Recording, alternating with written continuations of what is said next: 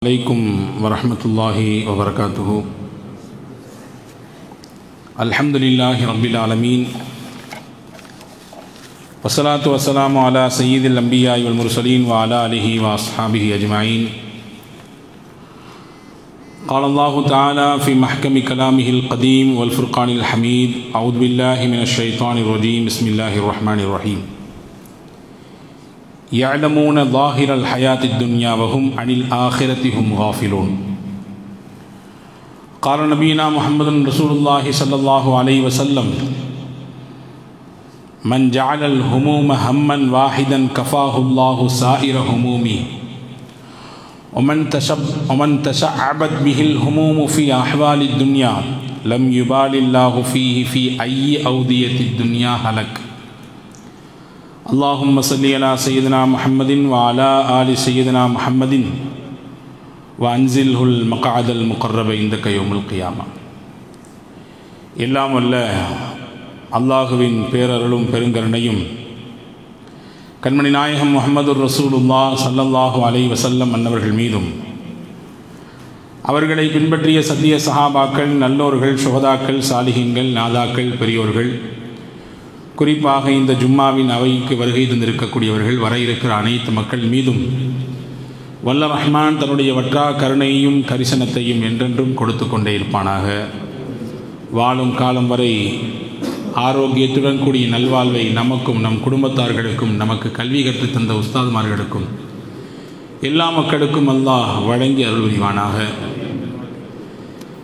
நோயற்ற வாழ்வையும் குறைவற்ற செல்வத்தையும் குன்றா நலத்தையும் எல்லா வளத்தையும் வரக்கத்தையும் நம் அனைவர்களுக்கும் அல்லா தருவானாக. இந்த உலகை விட்டு மூச்சு அடங்கும் நேரம் லாயிலாக இல்லல்லா முகமது ரசூலுல்லா என்ற திருக்கலிமாவை கூறிய வண்ணம் நம்முடைய ஆத்மாக்களை அல்லாஹ் கைப்பற்றி நாளை ஜன்னத்தில் ஃபிர்தோஸ் என்ற உயர்ந்த சொர்க்கத்திலே கண்மணி நாயகம் சல்லல்லாஹ் அலைஹி அன்னவர்களோடு சேர்ந்திருக்கிற தௌஃபீக்கை நமக்கும் நம் குடும்பத்தார்களுக்கும் நம்முடைய சந்ததிகளுக்கும் நம்மை உருவாக்கிய ஆசிரிய பெருமக்கள் அனைவர்களுக்கும் அல்லாஹ் தந்த அருள் புரிவானாக. ஆமீன் யாரம்பல் ஆலமி சங்கைக்குரிய சகோதரர்களே பாசத்திற்குரிய மூமின்களே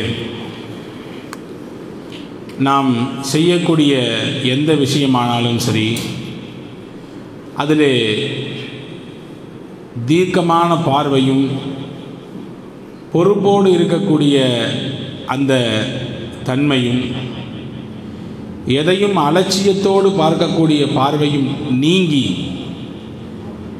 எதை செய்தாலும் துல்லியமாக பொறுப்புணர்வோடு செய்ய வேண்டும் என்று மார்க்கம் விரும்புகிறது. பொறுப்பட்டவர்களுக்கு அரபியிலே காஃபில் என்று சொல்லுவார்கள். காஃபில் என்றால் அலட்சியமானவர் பொடுபோக்கானவர் பொறுப்பட்டவர் என்றெல்லாம் பொருள் கொள்ள முடியும். திருக்குறானிலே பல்வேறு இடங்களிலே நீங்கள் பொறுப்பற்றவர்களாக ஆகிவிடாதீர்கள் என்று திருக்குறான் எச்சரிக்கிறது. ஒலாத்தக்கும் மினல் காஃபிலீன். அலட்சியவாதிகளாக நீங்கள் ஆகி போகாதீர்கள். யாழமூன லாஹிரல் ஹயாத் துன்யா ஃபில் யாழமூன லாஹிரல் ஹயாத் துன்யா. உலகத்தினுடைய புறத்தோட்டத்தை மட்டும் சிலர்கள் பார்க்கிறார்கள். வகும் அணில் ஆகிரத்தி ஹும் காஃபிலோன். அவர்களுமோ மறுமையை குறித்து அலட்சியமாக இருக்கிறார்கள். உலகத்தின் வெளித்தோற்றத்தை மட்டுமே குறிக்கோளாக லட்சியமாக கொண்டு சிலர்கள் வாழ்கிறார்கள். மறுமை என்பது அவர்களுக்கு அலட்சியமாக ஒரு விஷயமே இல்லாதது போன்றவர்களுடைய நடவடிக்கை இருக்கிறது என்று திருக்குறான் சொல்கிறது நாம் செய்யக்கூடிய தொழிலாகட்டும் நாம் இறைவனை நெருங்க வேண்டும் என்பதற்காக வேண்டி செய்யக்கூடிய இவாதத்தாகட்டும் குடும்பமாகட்டும் வாழ்க்கையில் எல்லா நிலையிலும் அலட்சியம் ஒரு மனிதனுக்கு இருக்குமேயானால் அது மிகப்பெரிய ஆபத்தில் கொண்டு போய் விட்டுவிடும். இலசுகள் அங்கும் இங்கும் படித்துவிட்டு சுற்றி கொண்டிருந்தால் வீட்டிலே பெருசுகள் பேசிக்கொள்வார்கள் இவனுக்கு ஒரு கால் கட்டு போட்டால் தான் பொறுப்பு வரும்னு சொல்லி. இப்போ பொறுப்பு அந்த பொறுப்பை மிகச்சிறப்பாக செய்யுதல் தான் மனிதர்களினுடைய எதிர்பார்ப்பு அல்லாவின் எதிர்பார்ப்பும் அதுதான். பொறுப்பற்று போய் இருப்பது அல்லாவிற்கு பிடிக்காதது என்று சொல்வதோடு மட்டுமல்ல இறைவனின் கோபத்தையும் கூட சில சமயங்களிலே வாங்கி தந்துவிடும். முஃபசீர்கள் சொல்லுவார்கள் திருக்குறானுடைய விரிவுரையாளர்கள் ஒருவர் காஃபில் என்பதற்கு எதை கொண்டு அவரை அடையாளப்படுத்த முடியும்? ஆகிரத்தினுடைய விஷயத்திலே பொறுப்பில்லாமல் இருக்கிறார். இவரை எதை வைத்து அடையாளம் காணலாம்? மூன்று காரியங்கள் யாரிடத்திலே வெளிப்படுகிறதோ அவர் பொறுப்பட்டவராக இருப்பார். ஒன்று சொர்க்கத்திற்கு போக வேண்டும் என்ற எந்த ஆசையும் அவருக்கு இருக்காது. இரண்டாவது நரகத்தை விட்டு நாம் தவிர்த்து கொள்ள வேண்டும் என்கின்ற எந்த தேடலும் அவருக்கு இருக்காது. மூன்றாவது அல்லாவின் திரு சன்னிதானத்திலே அவனை சந்திக்கக்கூடிய வாய்ப்பு தனக்கு வேண்டும் என்கின்ற எந்த தேடலும் இருக்காது. இந்த மூன்றுமே இல்லாதவர்கள் தான் பொடுபோக்காளர்கள். அவர்கள் அவர்களை போன்று நீங்கள் ஆகிவிடாதீர்கள் என்றுதான் திருக்குறான் எச்சரிக்கிறது. அன்பிற்குரியவர்களே நமக்கெல்லாம் தெரியும் தொழுகைதான் ஒரு மனிதன் செய்யக்கூடிய வணக்கங்களில் அல்லாஹிற்கு மிக மிக பிடித்தமானது. மனிதன் கஷ்டப்பட்டாலும் சரி மிகப்பெரிய கவலையில் இருந்தாலும் சரி தனக்கு சேர வேண்டியது வராமல் இருக்கக்கூடிய தடை காலங்களாக இருந்தாலும் சரி இறைவனை இரண்டு ரக்காய் தொழுதுவிட்டு கேட்கக்கூடிய அந்த பிரார்த்தனையிலே மிகப்பெரிய சக்தி உண்டு. எனவேதான் இதா ஹசபகு அம்ருன் பாதர இலசலா பெருமானாருக்கு ஏதாவது ஒரு விஷயம் சங்கடத்தை தந்தால் கவலையை கொடுத்தால் அவர்கள் வேகமாக செல்வது தொழுகையின் பக்கம்தான் என்று. நபிகள் நாயகத்தை குறித்து அதீசிலே பார்க்கிறோம். ஆனால் அதே தொழுகை கூட நம்மை நரகத்தில் கூட போய் தள்ளிவிடும். நரகத்தின் அடியாளத்தை கூட சுவைப்பதற்கு நாம் தொழுகிற தொழுகையே கூட சில சமயம் காரணமாகிவிடும். திருக்குறான் எச்சரிக்கிறது பாருங்கள் நம் எல்லோருக்கும் தெரிந்த சூறாதான். மாவுன் என்கின்ற அத்தியாயம் அராய்த்தல்லதி கத்திபு வித்தீன் என்று தொடங்கக்கூடிய அந்த அத்தியாயத்திலே அல்லாஹ் சொல்கிறான் முசல்லீன். தொழுகையாளிகளுக்கு வயல் என்ற நரகம் காத்திருக்கிறது. தொழுகையாளிகளுக்கு வயல் என்ற நரகம் காத்திருக்கிறது. அதை அதில் அவர்கள் நுழைவார்கள். நான் இந்த வசனத்தை விரி இதை விளக்குவதற்கு முன்பு மூன்று செய்தி சொல்கிறேன் நீங்கள் கவனத்தில் வையுங்கள். நரகத்தில் பல படித்தரங்கள் இருக்கிறது. நரகத்தில் சில நரகங்களுக்கு பெயரையும் அல்லாஹ் குறிப்பிடுகிறான். திருக்குறானிலேயே இடம்பெறுகிறது. வாதியுல் கை என்று ஒரு நரகம் இருக்கிறது. அந்த நரகத்திற்குள்ளே யார் போவார்கள்? திருக்குறான் சொல்கிறது ஃபஹலஃப மின் பஅதிஹிம் ஹல்ஃபுன் அல்லாஹு ஸலாத்த வத்தபஉ ஷஹவாத்தி வஸௌஃப யல்கவுன் கய்யா யார் தொழுகையை வீணடித்தார்களோ அவர்கள் அந்த நரகத்திற்குள்ளே போவார்கள். தங்கள் மனோ இச்சையை யார் பின்பற்றினார்களோ அவர்களுக்கு வாதி என்ற நரகம் காத்திருக்கிறது என்று திருக்குறான் சொல்கிறார் இந்த வசனத்திற்கு விரிவுரை தருகிற பெருமக்கள் சொல்கிறார்கள் தொழுகையை வீணி வீணடித்தல் என்றால் என்ன? என்றால் ஒரு நேர தொழுகையிலே பல தொழுகைகளை சேர்த்து தொழுவது. மகரிபுக்கு வருவார். அந்த மகரிபுடைய வக்து வந்துடும் மகரிபு தொழுது விட்டு அன்னைக்கு கலாமான லொகரு அசரு எல்லாத்தையும் சேர்த்து தொழுது போகிறது லொகருக்கு வருவார். காலையில் ஃபஜர் தொழாமல் வீட்டில் தூங்கியிருப்பார். அந்த லொகரில் கொண்டு வந்து ஃபஜரை தொழுகிறது அதாவது கலா செய்கிறது கலா என்றால் நேரம் மாற்றி தொழுவது ஒரு குறிப்பிட்ட நேரத்தில் கடமையான அந்த தொழுகையை வேறு நேரத்தில் தொழுவதற்கு பெயர் கலா. அந்த நேரம் தப்பியதற்கு பிறகு. இப்படி தொழுது கொண்டிருந்தவர்களுக்கு தங்கள் மனோ இச்சையை பின்பற்றியவர்களுக்கு என்ன தருவான் அல்ல? வாதியுல் கை என்ற நரகத்தை தருவான் என்று திருக்குறான் சொல்வது இன்னொரு இடத்திலே வாதியுல் வயல் வயல் என்ற நரகத்தை பற்றி சொல்றான் சொன்னான் அதை தான் நான் மேலே வாசித்து காண்பித்தேன். வயலுள்ளில் முசல்லி. தொழுகையாளிகளுக்கு நரகம் அந்த வயல் என்ற நரகம் காத்திருக்கிறது. எந்த தொழுகையாளிகளுக்கு? அல்லாஹ் சொல்லுகிறான் அல்லதீனஹும் அன் சலாத்திஹிம் சாஹூன். தங்கள் தொழுகையை விட்டு அவர்கள் அதாவது பொடுபோக்கானவர்களாக இருந்தார்கள். நம்ம லொஹர் தான் தொழுகிறோமா அசர் தொழுகிறோமா லொஹரில் மூணாவது ரக்காய் தொழுகிறோமா ரெண்டாவது ரக்காய் தொழுகிறோமா என்று தொழுகைக்குள்ளே வந்ததற்கு பிறகு வேறு கவனங்களை வேறு இடங்களிலே சுத்தவிட்டு ஏதோ பேருக்கு குனிந்து நிமிடு நிமிரக்கூடிய வேலையை செய்பவர். இவருக்குத்தான் வயல் என்ற நரகம் இருக்கிறது என்று அல்லாஹ் சொல்கிறான். இன்னொரு இடத்திலே திருக்குறானிலே சொல்லுவான் மா சலகக்கும் ஃபி சகத் சக்கர் இந்த நரகத்திலே தள்ளப்பட்ட அந்த நரகவாதிகளை பார்த்து அல்லாஹ் கேட்ப அந்த அங்கே இருக்கக்கூடியவர்கள் கேட்பார்கள் மலக்குகள் கேட்பார்கள் என்றும் வந்திருக்கிறது. உங்களை இந்த சக்கர் என்ற நரகத்திற்கு கொண்டு வந்து சேர்த்த காரியம் எது? என்று கேட்கிற பொழுது அந்த நரகவாதிகள் சொல்வார்கள் காலு லம் நகு மினல் முசல்லீன். நாங்கள் தொழுகையாளிகளோடு சேரவில்லை. நாங்கள் தொழக்கூடிய நபராக இல்லை என்று அவர்கள் சொல்வார்கள். இங்க கவனிக்கணும் இந்த மூன்று நரகத்தை நான் உங்களுக்கு சொல்லியிருக்கிறேன். இந்த மூன்றுமே தொழுகையோடு சம்பந்தப்பட்டது. வாதியுல் கை அந்த நரகத்திற்கு சிலர்கள் போவார்கள். அவர்கள் தொழாதவர்கள் கிடையாது. தொழுதாங்க ஆனா கலாவாக்கி கலாவாக்கி தொழுதாங்க. முன்ன பின்ன அந்தந்த நேரங்களிலே தொழாமல் அதை பின்னால் தள்ளிவிட்டு நேரம் தாழ்த்தி அதை வேறு நேரங்களிலே தொழுதவர்களுக்கு கை என்ற நரகம் உண்டு. சக்கர் என்ற நரகத்திலே அறவே தொழாமல் பள்ளியின் பக்கம் ஒதுங்காமல் மழை பெய்தாலும் கூட அவன் பள்ளிக்கூடத்திற்கு போக மாட்டான் என்று சொல்வார்களே அந்த மாதிரி மழை கடுமையான சிரமமான காலங்களிலும் கூட பள்ளியின் பக்கம் ஒதுங்காமல் இருந்தவர்களுக்கு சக்கர். வயல் என்ற நரகம் யாருக்கு? தொழுதாங்க. கரெக்டாக அந்த நேரத்தில் தொழுதாங்க. அந்தந்த வக்த அந்த நேரத்தில் கரெக்டாக ஃபாலோ பண்ணாங்க. ஜமாத்தோடு தொழுதாங்க. சுண்ணத்தான கோலத்திலே வந்து தொழுதார்கள். ஆனா அவர்களின் உடல் மட்டும்தான் இங்கே இருந்தது. உள்ளமெல்லாம் உலகத்தை சுத்தி கொண்டே இருந்தது. அந்த அலட்சியத்தோடு நிறைவேற்றிய தொழுகையை அல்லாஹ் அங்கீகரிக்கவில்லை. தூக்கி எறிந்து விடுவான் அவனை. வயல் என்ற நரகத்தில்? கவனிக்கணும். அல்லாவிற்கு பிடிக்க பிடித்தமான வணக்கம் தான் தொழுகை.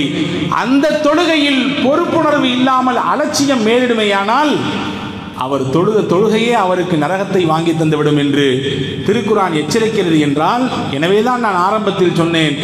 அலட்சியம் என்பது எந்த தளத்தில் போனாலும் அது ஆபத்தானது தான் பொறுப்புணர்வோடு நம்முடைய ந- நடைமுறைகளை அமைத்துக் கொள்ள வேண்டும். எந்த செயலாக இருக்கட்டும். நபிகள் நாயகம் சல்லல்லா அலி செல்லமின் ஹதீஸை வாசிக்கிற பொழுது நமக்கு புரியும். பெருமானா சல்லல்லா அலி செல்லம் இஷாவை தொழுது முடித்து விட்டு வீட்டுக்கு வருவார்கள். வீட்டுக்கு வந்து தங்களுடைய குடும்பத்தார்களோடு உரையாடி கொண்டிருக்கக்கூடிய நேரத்தில் திடீர்னு எந்திரிச்சு போவாங்க பள்ளிவாசலுக்கு. போயிட்டு வேகமாக போயிட்டு மறுபடியும் வீட்டுக்கு வர்றாங்க. வீட்டில் உள்ளவங்களாம் கேட்பாங்க யார் சூழல்லாம் முடிச்சுட்டு பள்ளிக்கு இருந்து வீட்டுக்கு வந்துட்டீங்களே மறுபடியும் வேகமாக எங்கே போறீங்க என்ன காரியம்? சல்லாலிசன் சொன்னாங்க நான் வெளியே வந்தேன் வருகிற பொழுது எனக்கு சளி ஏற்பட்டு அதாவது எச்சில் துப்ப வேண்டிய நேரம் ஏற்பட்டது அந்த சூழல் ஏற்பட்டது. நான் கீழே துப்பி விட்டேன் துப்பினதற்கு பிறகு அந்த இடத்திலே மண்ணை அள்ளி போடுவதற்கு மறந்து விட்டேன் ஞாபகம் வந்தது வேகமாக போய் அந்த இடத்திலே மண்ணை அள்ளி போட்டுவிட்டு வந்தேன். கவனிக்கணும். எத்தனையோ பள்ளிவாசல்களில் எழுதி போட்ட போடப்பட்டிருக்கிறது. ஜன்னல் வழியாக நீங்கள் எச்சில் துப்பாதீர்கள். அப்படின்னா என்ன அர்த்தம்? அங்கே நிறைய பேர் துப்பிட்டு அர்த்தம். அந்த வேலையை செய்யாதங்க. இது பள்ளிவாசல். இங்கே வந்து உட்கார்ந்து காரி உமிழ்ந்து அங்கே நாலு பேர் அவர்கள் முகத்திலே தெளித்து அன்பான சகோதரர்களே சின்ன விஷயம்தான். ஆனால் அதிலும் கூட எவ்வளவு பொறுப்போடு? யார் பார்க்க போறா? இந்த ஒரு சின்ன பிளேடு என்ன செய்ய போது என்றெல்லாம் பெருமானார் கடந்து போகவில்லை. பாதையிலே இடர் தரக்கூடிய பொருள் இருந்தால் அதை நீங்கள் மாற்றி போடுங்கள். அப்படி மாற்றி போடக்கூடிய நபர்களுடைய உள்ளத்திலே ஈமான் பிரகாசமாக இருக்கிறது என்பதற்கு நாசாச்சு நாங்கள் சொல்லாளி சொல்லுவோம் வழியாக நடந்து போகிறோம் ஏதோ ஒரு ஓரத்தில் ஒரு முள்ளு கிடக்கு கல் கிடக்குது. நடந்து போகிறவங்களுக்கு வாகனத்தில் போகிறவங்களுக்கு அது சிரமத்தை கொடுக்கலாம். கீழே குனிந்து உங்களுடைய அந்த மரியாதை அதையெல்லாம் ஒரு இடத்துல வைத்துவிட்டு உங்களுடைய அந்தஸ்து அதையெல்லாம் வச்சுட்டு இது மக்களுக்கு இடர் தரக்கூடிய பொருள். நீங்கள் அகற்றி போடுவீர்களே ஆனால் உங்கள் உள்ளத்தில் ஈமான் வெளிச்சமாக இருக்கிறது என்று பொருள். இன்னும் ஒருபடி மேலே சொன்னார்கள் பெருமானார் ஒருவர் சொர்க்கத்திலே உலாவிக் கொண்டிருக்கிறார் நான் பார்க்கிறேன் இங்கிருந்து. அவர் சொர்க்கத்திற்கு போன காரணம் ஒரே ஒரு மறை கிளை ஒரு மரக்கிளை தான் அவரை சொர்க்கத்திற்கு கொண்டு போய் சேர்த்து சஹாபாக்களுக்கு புரியல. மரக்கிளை எப்படி அவரை கொண்டு போய் சொர்க்கத்தில் சேர்க்கும்? ஆமா ஒரு நாள் வீதியில் நடந்து போனார். ஒரு மரம் கீழே விழுந்து கிளை அங்கே படர்ந்து கிடந்தது. வீதியை மறைத்திருந்தது. அவர் எழுந்தார். வந்து தான் கையில் வைத்திருந்த சின்ன ஆயுதம் சின்ன கத்தியை போன்றுண்டான ஆயுதத்தை கொண்டு நன்றாக வெட்டி அந்த மரத்தின் கிளையெல்லாம் அப்புறப்படுத்தி ஓரப்படுத்தி அந்த பாதையை சரி செய்தார். அங்கே ஏற்பட இருந்த டிராஃபிக்கை அவர் முன்கூட்டியே உணர்ந்து அந்த பாதையை சரி செய்து கொடுத்தார்.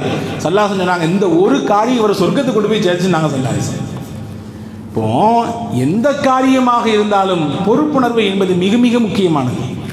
அலட்சியம் என்பது ரொம்பவுமே ஆபத்தானது. இபாதத்தாகட்டும் நாம் நாம் வசிக்கக்கூடிய நாம் நாம் வாழ்ந்து கொண்டிருக்கக்கூடிய நம்முடைய குடும்பமாகட்டும் நாம் செய்யக்கூடிய தொழிலாகட்டும் அன்னன்னைக்கு என்னென்ன வேலைகளை செய்து முடிக்க வேண்டுமோ அதை மிக உன்னிப்போடு கவனத்தோடு செய்துவிட வேண்டும்.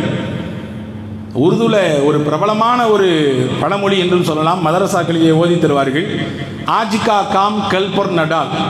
இன்றைக்கு உரிய வேலையை இன்றே செய்து முடித்து விடு. நாளைக்கு செய்யலாம்னு சொல்லி தள்ளி போடாது. அப்படி தள்ளி போடுவது அலட்சியத்தினுடைய அறிகுறி என்று சொல்லி தருவார்கள். எனவே அன்பானவர்களே எல்லா விஷயத்திலும் பொறுப்போடு இருப்பது நாம் முழுமை பெறுவதற்குரிய பாதையிலே முந்திக் கொண்டிருக்கிறோம் என்பதனுடைய பொருள். சமீப காலமாக நாம் எல்லோருமே என் வீடுகளில் ஒன்று என்பதற்கு மேலாக நாலைந்து மொபைல்கள் இருக்கிறது. எல்லோருமே நாம் இணையத்தை பயன்படுத்துகிறோம். இணையம் இல்லாமல் நம்மால் இருக்க முடியாது என்கின்ற நிர்பந்தம் ஏற்பட்டு போனது. இணையத்தோடே இணைந்திருக்கிறோம் இல்லையா? நல்ல விஷயங்கள் பல பார்க்கிறோம் நல்ல விஷயங்களை தெரிந்து கொள்கிறோம். பல மார்க்க சந்தேகங்களுக்கு தீர்வு கிடைக்கிறது. நம்முடைய வேலைகள் எல்லாம் அது துரிதமாக்கி தருகிறது பல சமயங்களிலே. நம்முடைய தேடல் பல்லாண்டுகள் தேடிய விஷயங்களையும் கூட கைகளிலே மிக வேகமாக கொண்டு வந்து சேர்க்கக்கூடிய அளவிற்கு அல்லாஹ் அதை விசாலமாக்கி வைத்திருக்கிறான். ஆனால் அதை பயன்படுத்தக்கூடிய விஷயத்திலும் கூட நாம் கொஞ்சம் கவனக்குறைவாக இருப்போமே ஆனால் எவ்வளோ பெரிய ஆபத்துகளை சந்திக்க நேரிடும் சமூகம் சந்தித்துக் கொண்டிருக்கிறது என்பதை நாம் கவனத்தில் கொள்ள வேண்டிய தேவை இருக்கிறது. இன்னைக்கு எல்லா பெண்களுமே இணையத்தை பயன்படுத்துகிறாங்க வீட்டிலே அதிலும் பத்தாக்குறைக்கு ஆன்லைன் கிளாஸ் என்ற பெயரிலே இருபத்தி நான்கு மணி நேரமும் ஆன்லைன் அந்த இணைய சேவையோடே நம்முடைய இல்லம் இருக்கிறது நம்முடைய கையில் இருக்கக்கூடிய மொபைல்கள் இருக்கிறது. படிப்பினுடைய தேவை நாம் குறை சொல்வதற்கில்லை அதே நேரத்தில் அதை தவறாக பயன்படுத்தியதனால் ஏற்பட்ட விளைவுகளையும் நாம் பார்க்கத்தான் செய்கிறோம். அன்பானவர்களே சமீபத்திலே சுள்ளி டீல்ஸ் என்ற ஒரு வார்த்தையிலே மிகப்பெரிய ஒரு பேர் ஆப அபாயத்தை ஏற்படுத்தியது ஒரு பதிவு. என்ன பதிவு என்றால் பெண்கள் ஒரு நூறு நபர்கள் இளம் பெண்களுடைய போட்டோக்களை போட்டு அந்த இணையதளத்திலிருந்து இப்படி ஒரு வார்த்தை டீல்ஸ் ஆஃப் தி டே இன்றைய நாளினுடைய ஏலம் எடுக்க எடுப்ப எடுக்கப்படுவதற்கு தகுதியானவர்கள். இன்னைக்கு ஏலம் இவங்க எல்லாம் நூறு பெண்களினுடைய போட்டோக்களை மொத்தமாக போட்டுவிட்டு இன்னைக்கு ஏலம் எடுக்கப்படக்கூடியவர்கள் என்று அந்த அதற்கு மேலே பதிவு போட்டிருக்கிறார்கள். இது உலகம் முழுக்க அது பரவுகிறது. இங்கே என்ன விஷயம்னா அந்த போட்டோக்களில் இருந்த நூறில் எண்பது சதவீதத்துக்கும் அதிகமானவர்கள் முஸ்லீம் பெண்கள். ஆனால் இதில் வருத்தமான விஷயம் என்னன்னா தங்களுடைய போட்டோ போட்டு தான் இந்த மாதிரி தவறான காரியத்திற்கு அழைப்பு கொடுக்கப்படுகிறது என்பது அவங்களுக்கே தெரியாது. பின்ன எப்படி போச்சு அந்த போட்டோ யார் இதை பின்னால் இருந்து இறக்குகிறார்? என்பதை எல்லாம் பார்க்கிற பொழுது சமூகத்திற்கு யார் வைரஸாக இருந்து கொண்டிருக்கிறார்களோ இந்த சமூகத்தினுடைய அமைப்பையும் இந்த சமூகத்தினுடைய ஒற்றுமையையும் குலைப்பதற்கு யார் மிகப்பெரிய தீங்காக இருந்து கொண்டிருக்கிறார்களோ அவர்கள் வேலையில் தான் நடக்கிறது என்பது ஒரு விஷயம். ஆனால் அந்த பெண்களுக்கே தெரியாம அவங்களுடைய போட்டோ போடப்பட்டு விபச்சாரத்தின் பக்கம் அழைக்கக்கூடிய ஒரு சூழலிலே கொண்டு வந்து நிப்பாட்டப்படுகிறது. இதில் விமானத்திலே பயணிக்கக்கூடிய விமானத்தில் பணிப்பெண்ணாக இருக்கக்கூடிய ஒரு முஸ்லீம் பெண் அவர்கள் ட்விட்டர் பயன்படுத்துவதனால் அதிலே இந்த செய்தி வந்து தன்னுடைய போட்டோவும் அதில் இருக்கிறது என்பதை அறிந்து உடனடியாக அதற்கடுத்து யார் யார் தன்னுடைய நண்பர்கள் என்பதையெல்லாம் தொடர்பு கொண்டு இந்த வேலையை யார் செய்தார் என்பதை கண்டறிந்து அதற்கு வழக்கு தொடுத்து அந்த போஸ்ட்டை வந்து கேன்சல் பண்ண வச்சாங்க அதை எடுக்க வச்சாங்க. இது ஒரு புறம் இருக்கட்டும். எப்படி வந்தது? இன்றைக்கு நம்முடைய வீட்டில் இருக்கக்கூடிய எல்லோரும் இருக்கிறோம். வீட்டில் இருக்கிறோமோ இல்லையோ? எஃபியில் இருக்கிறோம். ஃபேஸ்புக்கு இன்ஸ்டாகிராமில் இருக்கிறோம். இல்லையா? வாட்ஸ்அப் எல்லோருமே பயன்படுத்தி கொண்டிருக்கிறோம். ட்விட்டர் ஒரு சில நபர்கள் பயன்படுத்தலாம் பயன்படுத்தாதவர்கள் இருக்கிறாங்க ஆண்களாக இருக்கக்கூடிய நாம் நம்முடைய நம்மளை அடையாளம் காண வேண்டும் என்பதற்காகவே நம்முடைய புகைப்படத்தை அதிலே டிபியாக வைக்கிறோம். ஆனால் பெண்கள் நல்ல பணியில் இருக்கக்கூடியவர்கள் விழிப்புணர்வோடு இருக்கக்கூடியவர்கள் கூட சரி நம்ம இதில் வைக்கிறதுனால என்ன தவறுன்ற எண்ணத்தில் வச்சதின் விளைவு தான் இந்த எண்பது பெண்கள் அங்கே உள்ள போய் சேர்ந்தது. நம்ம போட்டோ இருக்கிறதுனால என்ன பிரச்சனை? நம்ம போட்டோ எஃபியில் இருந்தா என்ன? இன்ஸ்டாவில் இருந்தா என்ன? இன்னைக்கு நிகழ்ச்சி தானே? இன்னைக்கு முக்கியமான நாளாச்சே. இன்னைக்கு ஒரு நாலு கிளிக் எடுத்து போட்டு விடுவோம். எத்தனை லைக் வருகிறது பார்ப்போம். என்ற சிந்தனையிலே அவர்கள் தப்பான சிந்தனையிலோ அல்லது வேறு விதமான கண்ணோட்டத்திலோ அதை பதிவிடவில்லை. வெறுமென்ன அவங்க டிபியாக வச்சதின் விளைவாகத்தான் இந்த பெண்கள் எல்லாம் அதிலே பயன்படுத்தப்பட்டிருக்கிறார்கள் என்ற செய்தியை கேள்விப்படும் பொழுது எவ்வளவு பெரிய ஒரு ஆபத்தை நாம் உணர்கிறோம் என்பதை புரிந்து கொள்ள முடியும். அன்பான சகோதரர்களே அதனால் இப்படி கேட்கக்கூடாது. நம்ம ஆண்கள் நீங்கள்லாம் டிபி வைக்கலாம் நாங்கள் பொம்பளைங்க வைக்கக்கூடாதான்னு சொல்லி. பொதுவாக ஒன்றை நாம் கவனத்தில் கொள்ள வேண்டும். இஸ்லாம் ஃபர்தாவை பேண சொல்கிறது பர்தா என்றால் முகத்தை காட்டி மற்ற அவயங்களை எல்லாம் மறைக்கக்கூடிய பர்தாவல்ல பர்தாவினுடைய அசலே முகத்தை மறைக்க வேண்டும். நிகாப் என்று சொல்வார்கள் அதை போட்டுவிட்டு தான் தங்களை முழுமையாக மறைத்துக் கொள்ள வேண்டும். வலா யுதுனீன யா ஐயுஹன் நபி குல்லி அஸ்வாஜிக வ பனாத்திக வ நிசாஇல் முஃமினீன யுதுனீன அலைஹின்ன மின் ஜலாபி பிஹின் ذلك أدنى أن يعرفن فلا يؤذين அல்லாஹ்வின் தூதரே நீங்கள் உங்கள் பெண்களுக்கு சொல்லுங்கள் உங்களுடைய மனைவிமார்களுக்கு சொல்லுங்கள் உங்களுடைய வீட்டிலே இருக்கக்கூடிய உங்களுடைய மகளார்களுக்கு சொல்லுங்கள் அவர்கள் தங்களுடைய முந்தானையை தங்கள் நெஞ்சுக்கு மேலே போட்டுக் கொள்ளட்டும் பர்தா அமைத்துக் கொள்ளட்டும் அதேபோன்று அவர்கள் பர்தாவை முழுமையாக பேணட்டும் காரணம் என்னவென்றால் அதுதான் அவர்களுக்கு மிகச்சிறந்த அடையாளம். பிறரால் நோவு செய்யப்படாமல் இருப்பதற்கு அதுதான் அடிப்படையான காரணம். இது அந்த காலத்தில் மட்டும் பொருந்தக்கூடியதல்ல எல்லா காலத்திற்கும் பொருந்தக்கூடியதுதான் இறை வசனம் என்பது. இறைவனின் வசனம் எல்லா காலத்திற்கும் ஒத்து வரும். இன்னைக்கு காலத்திலும் இந்த இன்டர்நெட்டினுடைய காலத்திலும் இணைய பயன்பாடு அதிகமாக இருக்கக்கூடிய காலத்திலும் கூட பர்தா என்றால் முழுவதுமாக உடலை மட்டும் மறைக்க வேண்டும் என்ற சிந்தனையை கடந்து அந்நிய பெண்களின் பார்வையில் ஒரு பெண் தன்னை வெளிக்காட்டிக் கொள்ளக்கூடாது என்கின்ற சிந்தனைக்குள்ளே ஒரு முஸ்லீம் பெண் வருகிற பொழுது நிச்சயமாக அந்த பெண்மணி தன்னுடைய போட்டோவை டிபியாக வைக்க மாட்டார் காரணம் அந்த டிபி வைத்ததற்கு பிறகு ஒரு தன்னுடைய அழகான ஒரு போட்டோவை இன்ஸ்டால்லையோ அல்லது வந்து எஃபிலையோ பதிவு பண்ணால் பல ஆண்கள் இனம் தெரியாத மொழி தெரியாத பாஷை தெரியாத சம்பந்தமே இல்லாத பலர்கள் பார்க்கக்கூடும். எனவே அதை தவிர வேண்டும் என்ற சிந்தனை இருந்தால் நிச்சயமாக தன்னுடைய புகைப்படத்தை வைக்க மாட்டாள் என்பதை நாம் உறுதியாக உணர்கிறோம். இப்போ அன்பான சகோதரர்களே இதிலே நாம் மிகுந்த கவனம் எடுக்க வேண்டிய தேவை இருக்கு. நம் இல்லங்களிலே இருக்கக்கூடிய பெண்கள் பயன் இந்த சோசியல் மீடியாவை பயன்படுத்தக்கூடியவர்களாக இருந்தால் இந்த விஷயத்திலே கவனமாக இருக்க வேண்டும்.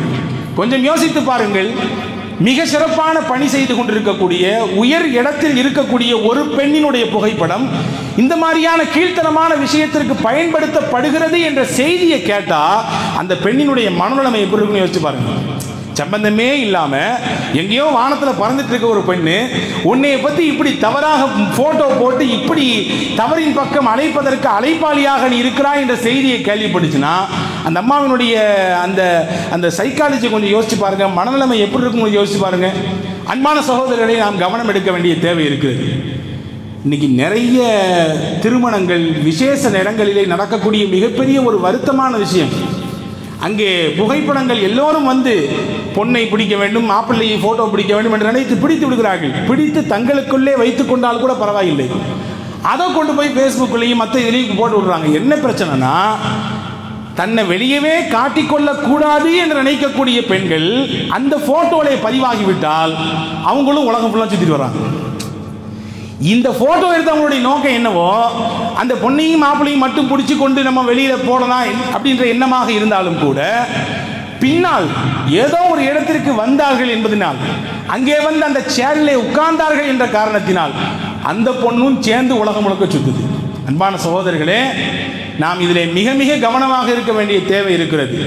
பர்தாவினுடைய விஷயத்திலே கொஞ்சம் கவனக்குறைவாக அலட்சியமாக இருந்து விடுவோமையானால் எவ்வளோ பெரிய இடைஞ்சல்களையும் இடையூறுகளையும் சந்திக்க வேண்டிய சூழல் ஏற்படுகிறது என்பதை நாம் கவனிக்க வேண்டிய அவசியம் இருக்குது சாதாரண எதுவுமே தெரியாமல் நல்ல நிலையில் விழிப்புணர்வோடு இருக்கக்கூடிய பெண்களுடைய நிலையை இப்படி என்றால் எத்தனையோ பிள்ளைகள் அதிலும் குறிப்பாக இளம் பிள்ளைகள் டிக்டாக் போன்ற செயலிகளுக்கு அடிமையாகி அந்த செயலிகளிலே தங்களுடைய திறமைகளை நாங்கள் காட்டுகிறோம் என்ற பெயரிலே அற்ப லைக்குக்காக வேண்டி அற்பமான ஷேரிங்காக வேண்டி எத்தனை எத்தனை தேவையில்லாத முகம் சுளிக்கக்கூடிய அருவருப்பான காட்சிகளை எல்லாம் கூட பொது தளங்களிலே பதிவு செய்கிறார்கள். அதை பகிர விட்டு அதன் மூலம் சந்தோஷப்படுகிறார்கள் என்பதை நினைக்கிற பொழுது உள்ளங்களில் ஈமான் காற்றோடு காற்றாய் சேர்ந்து பறந்து போய்விட்டது என்கின்ற எண்ணம் தோன்றுகிறது. அன்பான சகோதரர்களே ஒரு நிகழ்ச்சியை சொல்கிறேன் சவுதியிலே இருக்கிறார் அப்துல் ரஹ்மான் அல் அரிஃபி என்று சொல்லக்கூடிய மிகச்சிறந்த இஸ்லாமிய ஸ்பீக்கர். ரொம்ப அற்புதமாக அரபியிலே சொற்பொழிவாற்றக்கூடியவர் அவர் தன்னுடைய ரவாயிழை என்ற நூலிலே இந்த செய்தியை பதிவு செஞ்சிருக்காரு. ஒரு கிறிஸ்துவ மதத்தைச் சேர்ந்த ஒரு பெண்மணி. வீட்டின் கஷ்டத்தின் காரணமாக வெளிநாட்டுக்கு போக வேண்டும் என்று விருப்பம். அந்த பெண் ஏஜென்டின் மூலமாக அழைத்து செல்லப்பட்டு ஒரு நாட்டிலே கொண்டு விடப்படுகிறார் அங்கே போய் இறங்கினதற்கு பின்னால் தான் தெரியுது நம்மளை வேலைக்கு கூட்டு வரல இவங்க விபச்சாரத்துக்கு கொடுத்துருக்காங்கன்னு சொல்லி. மிகப்பெரிய வருத்தமும் வேதனையும் ஏற்படுகிறது. எப்படியாவது தப்பிவிட வேண்டும் இந்த இடத்துல இருந்து என்ற வைராக்கியம் இருக்கிறது. பாஸ்போர்ட்டை பிடிங்கி வச்சுக்கிட்டாங்க. கையில் ஒத்த ரூபா காசு இல்லை. அந்த ஊருடைய மொழி தெரியாது. ஆனாலும் உள்ளத்தில் உறுதி மட்டும் இருந்துச்சு. எக்காரணம் கொண்டும் வறுமையினால இந்த வாசலுக்கு போயிடக்கூடாது. இந்த கேவலமான தொழிலுக்குள்ளே போய் நுழைந்து விடக்கூடாது என்கின்ற வைராக்கியம் இருந்தது. இறைவனும் உதவி செய்தான். பாஸ்போர்ட் எப்படியோ கையில் கிடைக்குது. வெளியே வந்து ஓடுது ஓடுது ஓட்டமாக ஓடுது. மொழி தெரியாது இடம் தெரியாது யாரும் பழக்கமான ஆட்கள் இல்லை ஆனாலும் கூட ஒரு நம்பிக்கை. எப்படியாவது யாராவது நம்மளை காப்பாற்றுவாங்க இந்த நிலையிலேருந்து மாற்றி அமைப்பாங்க ஒரு அம்மா ஒரு மக ஒரு மகன். மூணு பேர் நடந்து போயிட்டு இருக்காங்க அந்த இடத்துல போய் கரெக்டாக அந்த புள்ள போய் நின்று எனக்கு உதவி செய்யுங்க. நான் வந்து இப்படியாக்கும் இப்படி வந்து நம்பப்பட்டு கூட்டு வந்து இங்கே வந்து என்னை கொண்டு என்னை கொண்டு போய் விபச்சாரத்தில் தள்ள பார்க்கிறார்கள். எப்படியாவது ரெண்டு நாள் எனக்கு தயங்கொடுங்க நான் எங்கள் ஊருக்கு போயிடுறேன் ரஷ்யாவுக்கு போயிடுறேன் எப்படியாவது நான் கொஞ்சம் காசை நான் அங்கே போய் உங்களுக்கு அனுப்பி வைத்துடுவேன் என்று புலம்புகிறது. இந்த புலம்பல்ல நியாயம் இருந்ததை அந்த குடும்பத்தார்கள் உணர்கிறார்கள். தங்கள் வீட்டுக்கே கொடுக்குறாங்க வீட்டில் கொண்டு உட்கார வச்சு அந்த பொண்ணுக்கு தேவையான விஷயங்கள் எல்லாம் செய்து கொடுக்கிறார்கள்.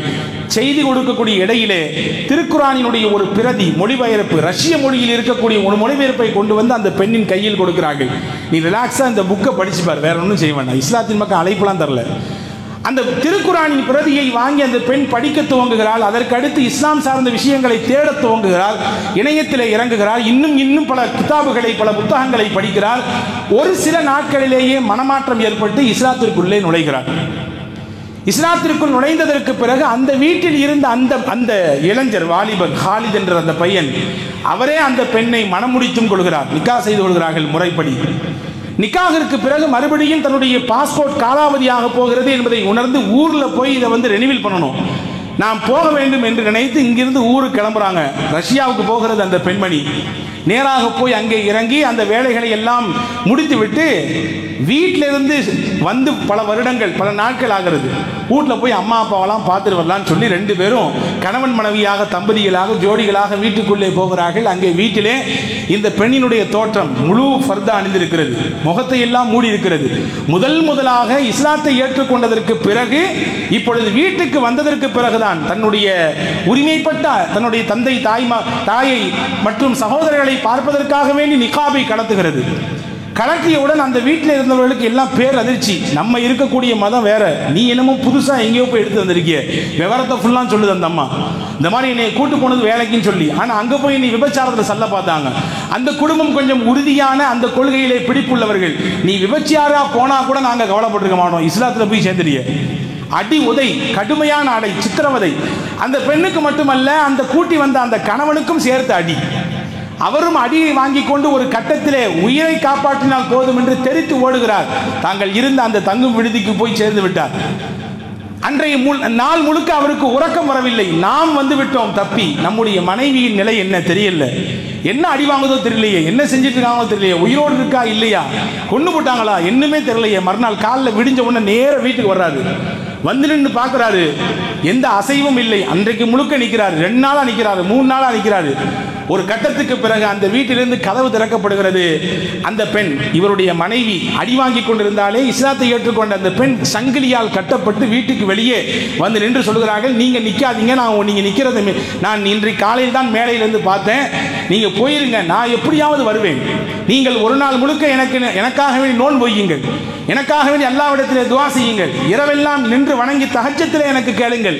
நிச்சயம் நமக்கு வழிகாட்டி அல்லாஹ் இந்த கொடுமையிலிருந்தும் வழிகாட்டுவான் என்று சொல்லிவிட்டு அந்த பெண் வெளியே வந்து விடுகிறது. ஒரு கட்டத்திலே மறுநாள் அந்த பெண் கணவனை பார்த்து அங்கிருந்து எப்படியாவது மறுபடியும் நம்முடைய நாட்டுக்கு போய்விடலாம் என்று கூட்டிட்டு போய்விட்டார் ஊருக்கு போனோன்னு கேட்டாராமா என்ன நடந்துச்சு? நீ வீட்டுக்குள்ள போன நான் வெளியில இருந்தேன். உங்க வீட்டில் என்ன செஞ்சாங்க?